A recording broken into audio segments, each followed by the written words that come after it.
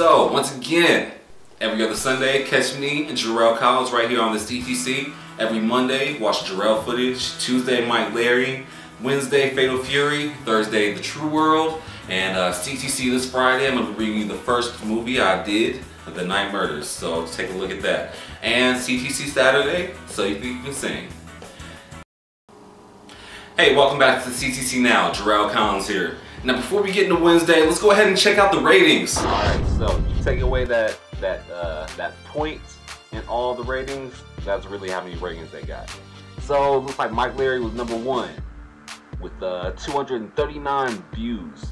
Number two, The Test. Number three, The True World. Number four, Staying Alive.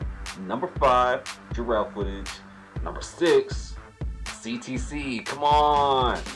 Number seven, So You Think You Can Sing, and Fatal Fury.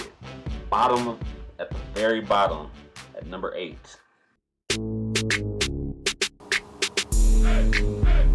Hey, what's going on everybody? Welcome back to the CTC Now. I once again am in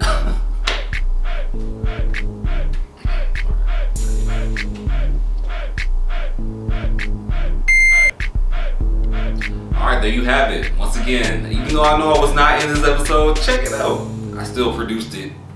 Anyways, Fatal Fury, Wednesdays. And here's Uncle Tom. Oh gosh. What? I'm recording something.